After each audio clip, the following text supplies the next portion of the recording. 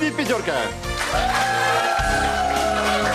Снова здравствуйте, снова у нас лето, снова у нас каникулы, снова у нас игра на будущее. Мы отбираем самых лучших, самых умных, самых сообразительных, самых веселых, самых красивых, в общем, самых-самых-самых для участия в наших предфинальных играх, которые будут в конце сезона. Э, Двое, трое или даже четверо, по-моему, уже, по моим прикидкам, отобраны э, в предыдущих двух играх.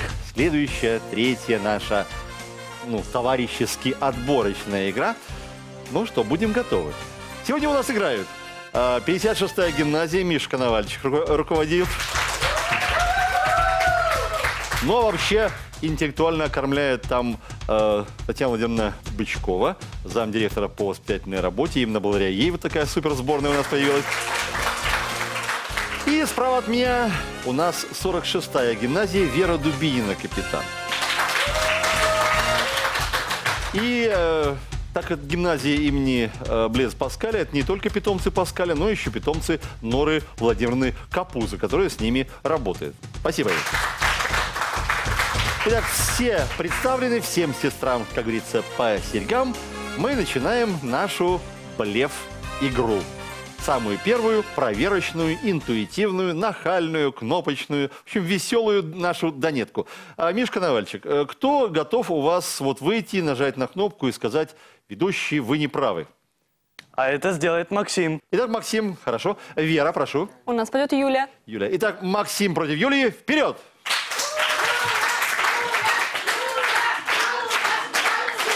Прекрасно. Итак, Максим против Юлии, 56-я против 46-й, а, гимназии Вишневского против гимназии Паскаля. Итак, верите ли вы что? Древнейший город Белоруссии – это Туров. Прошу. Да. Ну что вы? А как вы думаете? Нет, ну, конечно, нет. А какой самый древний? Э, Могилев. Нет, не поверите, Полоцк. Самый древний город. Так что никто ничего не заработал, играем дальше. Верите ли вы, что у Малевича, э, кроме черного квадрата, был еще и красный квадрат? Прошу. Да. Да, конечно, и белый квадрат. Он квадратовый их налепил немерено. Браво! У вас уже 5 очков, так что размочили вы счет. Верите ли вы, что хлористый натрий – это сахар? Прошу. Нет. Это соль, вы правы, да. Юля, соберитесь. Верите ли вы, что лисички зажгли синее море спичками? Фальстарт. У вас за этим очень строго следит наша электронная судья. Я считаю, что это правда. И это в самом деле правда. А Лисички взяли спички, к морю синему пошли, море синее зажгли. Так что, дорогие наши зрители, дорогие участники, ваших младших братьев и сестер предостерегайте от опасной игры со спичками. Играем. Верите ли вы, что название головного убора тюрбан происходит от цветка? Прошу. Да. Да. Тюльпан, отсюда тюрбан. Вот так вот трансформировалось словечко. И это правильный ответ. Если не ошибаюсь, у нас счет 15-5. Лидируя 56-я, ничего не значит. Впереди наша главная дуэль-игра.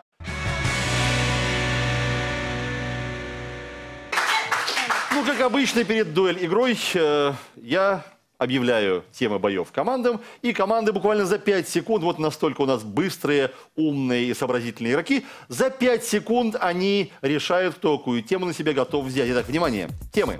Первый бой – самые-самые. Второй бой – все живое, ну, биологическая тема. Третий бой у нас – мир вокруг нас. Ну, грубо говоря, природоведение. Э, Герои книги – это четвертый бой. Пятый бой – пословицей в рифму. Ну, типа, без труда не вынешь рыбку откуда?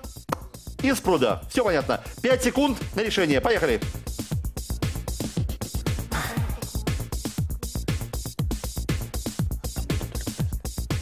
Итак, дуэль, игра. Первый бой. Самые-самые. Миш, ну кто у вас проштудировал всю книгу рекордов Гиннесса? Ну, буду я. Хорошо. Вера, у вас? Пойду я. Капитанский бой сразу, вперед! Итак, Михаил против Веры, капитаны показывают пример. Так, первый поединок, самое-самое. Это самое-самое большое озеро нашей страны. Вера? Это Нарыч. Нарыч, конечно, и пять очков. Вере?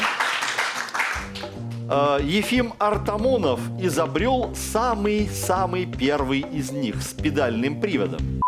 Михаил? Велосипед. Да, Артамонов считается изобретателем велосипеда. Играем. Это самый-самый теплый океан на Земле. А, Михаил, прошу. Тихий. Тихий, разумеется. Эти братья наполнили свой самый-самый первый шар дымом от соломы шерсти. Михаил? Монгольфьер. Монгольфье, конечно же, играем. Самый-самый, самый-самый-самый длинный день в году – это летнее. Солнцестояние. Браво, Вера! Итак, э, счет у нас 30-15. После первого боя ведет 56-я. Следующий бой. Все живое. Кто у вас в команде, дорогая наша 56-я гимназия, будущий академик Павлов? Ну, это Арсений. Арсений, готовьтесь. А Вера, у вас... У нас пойдет Юля. Итак, Арсений против Юлии. Вперед! Все живое! Итак, Арсений против Юли. Юля, это второй и последний ваш выход. У нас больше двух раз к стойке не ходит. Ну что ж, все живое. Простой вопрос. Рыбы бывают пресноводные. Какие еще? Юлечка, это фальстарт. Морские. Морские, это правильный ответ, да. Это, внимание, это недостаток зрения, при котором хорошо видны только близкие предметы. Близорукость. Близорукость, вы правы, отлично. Группа хордовых животных, которая первой вышла на сушу, но сохранила связь с водной средой, называется... Земноводные. Земноводные, да. Так называется движение крови по кровеносным сосудам. Опа. Система чего? Тихо. Система кровообращения. Это кровообращение называется. Все просто. Теперь вы это знаете. Змеи, крокодилы, ящерицы, черепахи и даже динозавры. Это фальстарт у вас, Арсений. Строк к вам наш электронный судья Юля. Что за такие вот они? Змеи, крокодил, ящерицы, динозавры. Какие? Я не помню. Не помнишь? А про присмыкающихся что не слышала? Вот, а вот, я понимаю, Юля, это нервы, да, присмыкающиеся, они и в Африке присмыкающиеся, и в ископаемых не присмыкающиеся. Сохраняется половинный счет, что называется, 40 у красных, 20 у синих. Следующий бой. Итак, э, Михаил Коновальчик, капитан Красных, кого вы отправляете на такую природоведческую тему «Мир вокруг нас»? Даниила. Данила, Вера, а вы? Алексея. Итак, о, это серьезный со- соперник. Итак, Данил против Алексея, вперед! Алексей, внимание. Линия, которая разделяет два государства, называется... Прошу. Граница. Граница – это правильный ответ, Алексей. Я вам удивляюсь. Барометр используется для измерения, естественно, атмосферного давления. А для чего флюгер? Для измерения направления ветра. Да, конечно, все очень просто играем. Этот слой атмосферы поглощает губительный для всего живого ультрафиолет. Прошу. Озоновый слой. Хорошо. Озоновый слой, хорошо. Самое северное, хищное, млекопитающее нашей земной биосферы – это он. Белый медведь. Белый медведь, да. Вот, очень точно Леша ответил. Бурова, естественно, и просто медведя я бы не принял. А вот я даже думаю, что если бы мы с Алексеем сейчас побеседовали, он бы объяснил, почему белые медведи не едят пингвинов. Вот, можете сами это узнать самостоятельно. Вот я вам даю домашнее задание. И заканчиваем. Подземные толчки и колебания земной поверхности – это фальстарт. И у Алексея есть шанс – Это землетрясение. Землетрясение, все очень просто. Итак, э, немножко сократил отставание Алексей Пикас. 50-35. Следующий бой.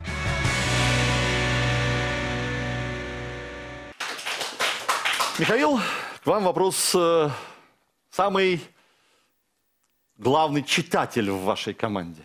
Читает у нас больше всех Максим. Макс, хорошо. А, Вера, у вас кто засыпает с книжкой под подушкой? Яна. Яна, хорошо. Итак, Максим против Яны. Вперед! Максим, это ваш последний выход. Напоминаю, играем. Этот выходец из села Карачарова – герой Былин. Фальстарт, фальстарт. Максим, Яна, у вас есть шанс. Из того села из Карачарова выезжал удаленький, дородный, добрый молодец. Не? Илья Муромец. Илья Муромец, конечно же! Хотя он был родом из села Карачарова, но, в общем-то, по соседнему городу его прозвали. Ну, Илья Карачаровец как-то вот долго. А вот Илья Муромец, это звучит. Играем. А, Она путешествовала по шахматной доске, была спасена белым рыцарем и общалась с разноцветными королевами. Яна? Яна. Алиса. Алиса, это правильный ответ. Героиня Льюиса Кэрролла. Играем. Он был послушником в грузинском монастыре. Потому Лермонтов так его по-грузински и назвал. А как? Прошу. Максим, три, две, одна, я рыдаю вместе с вами. Яна. Казбек. Нет! Он назвал его Мцири. Да, Мцири поэма, помните, о юном послушнике, который сбежал из монастыря на свободу. А Мцири по-грузински, да, это послушник, это монах первой такой категории. Продолжаем. Он был полковником, а потом стал атаманом в Запорожской сечи. Кстати, у него было два сына. Как же его звали? Богдан Хмельницкий. Нет. Литературный герой. Прошу.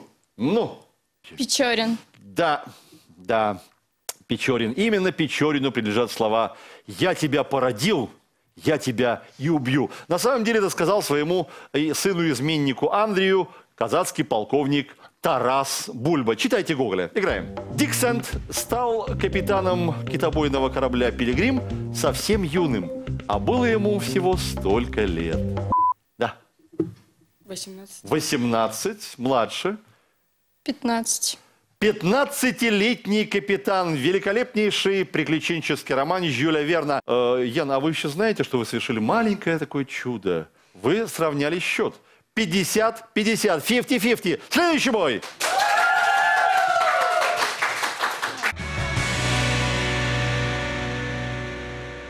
Миш, что у вас рифмует лучше всех? Илья. Илья, хорошо? Вера? У нас Егор. Хорошо. Итак, Илья против Егора. Вперед! Из-за леса, из-за гор вышел интеллектуал Егор. Пословицы в рифму. Вам нужно закончить в рифму, ну и по смыслу. Итак, как говорится, в бане веник дороже... Илья? Денег. Денег, конечно же.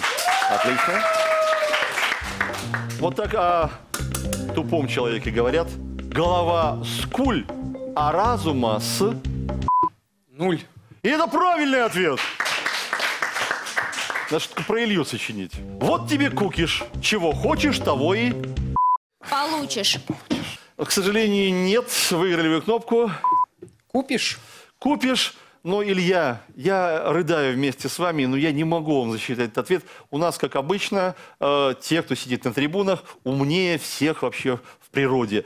Ну, трибуна хором кри- крикнула «Купишь?» Я не могу вам засчитать ответ. Илья, простите. Правило есть правило.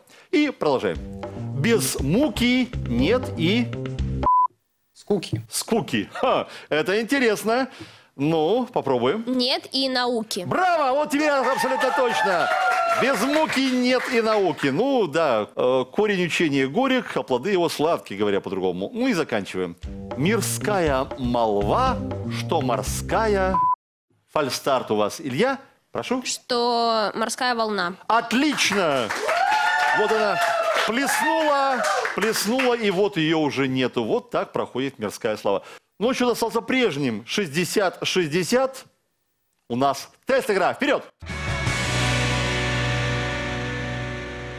Тест-игра у нас не простая, а счетная. Ну, наше скоростное централизованное тестирование, как говорят на пятерки. То есть там какие-то циферки, там какие-то э, счетные слова и так далее, и так далее. Миш, кто у вас посчитает? Арсений. Арсений, великолепная. Вера, у вас? Яна. Арсений против Яны. Вперед! Итак, внимание. Вот давным-давно, в далеком 1937 году на Северном полюсе была первая научная станция, естественно, наша советская. Так вот, на станции Северный полюс-1 у начальника Папанина в подчинении были А. Два капитана, Б. Три товарища и С. Семеро смелых. Ну? Вариант? Б. Б. Три товарища. Мгм. Ну что ж, в самом деле, считая Папанина, на станции было четверо. Вы абсолютно правы. Браво, 10 очков. Продолжаем. Античный бог Аполлон руководил А. Тремя грациями, Б. Семью нимфами и С. Девятью музами. Яна? Девятью музами. Отличный ответ, браво. Снова счет выровнялся, играем. Жуковский перевел Гомеровскую Одиссею на русский язык каким-то особым размером. И размер этот называется так.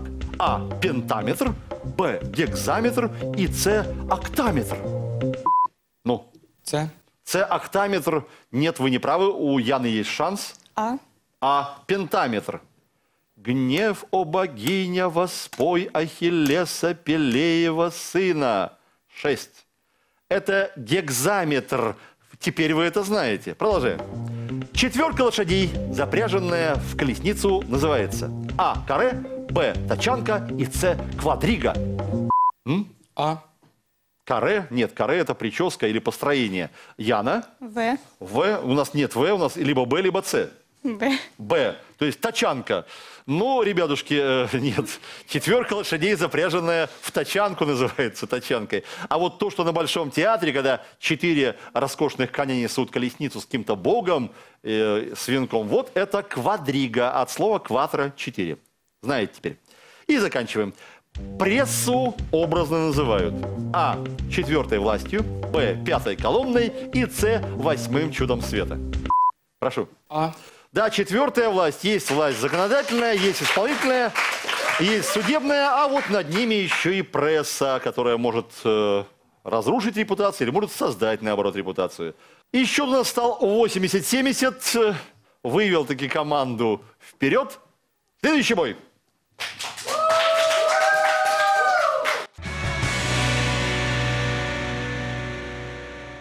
Слайд-игра. Любимое развлечение участников ради пятерки. Ну, что может проще? Стоишь перед экраном, видишь буквы, называешь, что на картинке изображено.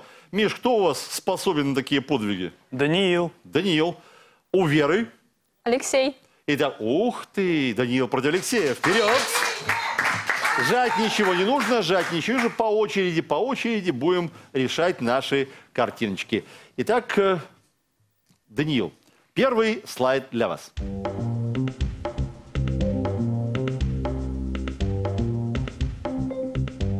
Автобусный парк. К сожалению, я не могу принять этот ответ. Я сам сделал этот снимок. А вот где может ответить Алексей? Автовокзал. Автовокзал в Минске, конечно. Это автовокзал. В автобусном парке нет вот таких замечательных э, табло и нет ожидающих уехать пассажиров. 10 очков на подборе Алексей поднял. Алексей, играем с вами дальше. Прошу.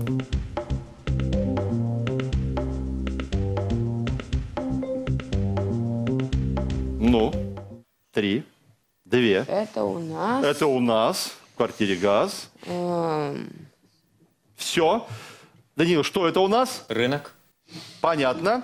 Не могу принять такой ответ, потому что рынок на букву «Р», а у нас что? А у нас базар, конечно. Ну, будьте вы э, внимательнее. Базар, разумеется, восточный базар. Играем с вами.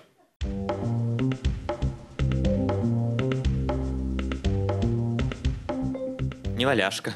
А буква «К» у нас? В. Валяшка, значит. Понятно. Алексей, прошу вас. Что, неужели не знаете? да. Ванька, встань-ка.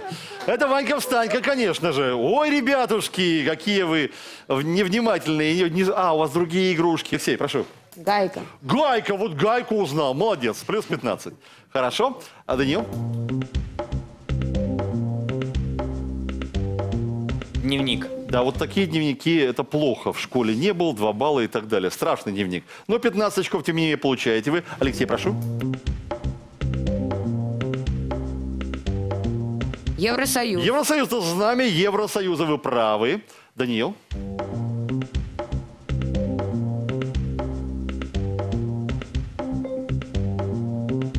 Жимолость. Прошу. Жасмин. Жасмин, это Жасмин. 10 очков Алексей Пикас подбирает. Поехали.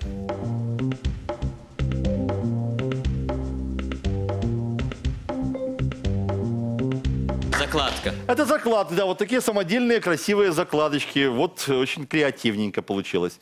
А, прошу вас, Даниил.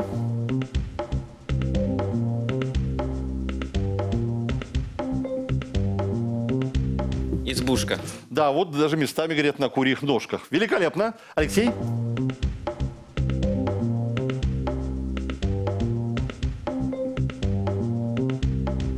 Кальмар. Точно? Кальмар. Кальмар конкретно. Это правильный ответ. Итак, э, после слайд игры 120, 135 Алексей Пикос вывел свою замечательную команду вперед. У нас риск игра. И, как я понимаю, в споре за то, кто у нас будет главная супер-мега-звезда сегодняшнего матча и кто будет участвовать в предфинальных наших шоу-играх, сойдутся капитаны. Они приберегли для себя это место. Михаил и Вера. Миша, я прав? Да. Верочка? Все верно. Вперед!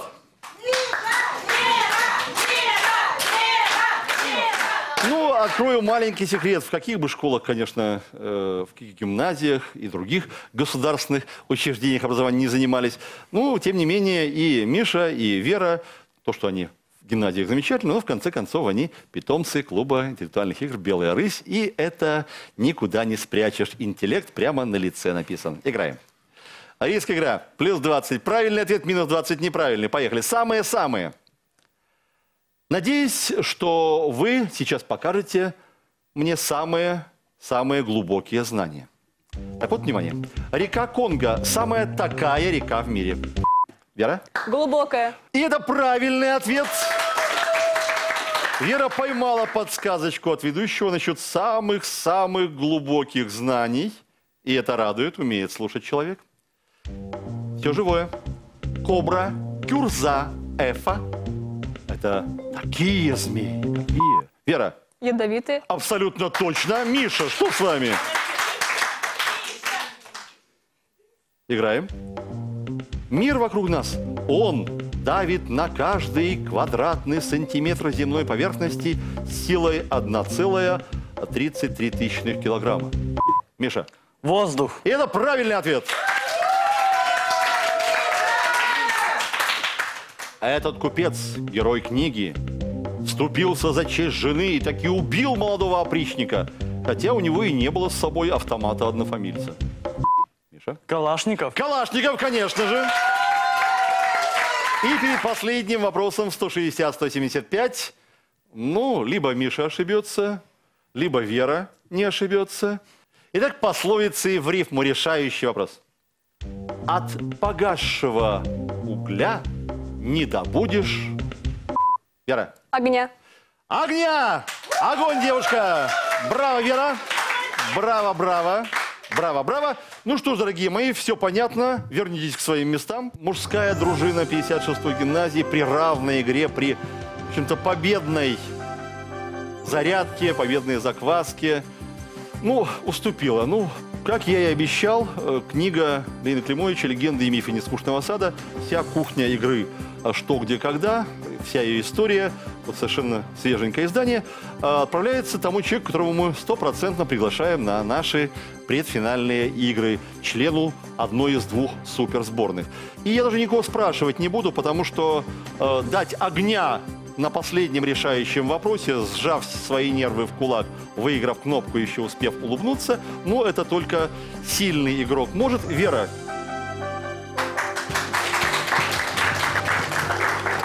я вас приглашаю на наши предфиналы. Поздравляю. Ну и от себя, все-таки я самая большая лягушка в этом болоте, самый главный человек в этой студии. А я приглашаю в одну из сборных на а, предфиналы капитана 56-й гимназии Мишу Коновальчика. Миша, вы будете играть у нас в одной из сборных, в, ка- в какой вы узнаете в конце сезона, когда мы будем снимать наши красивые игры.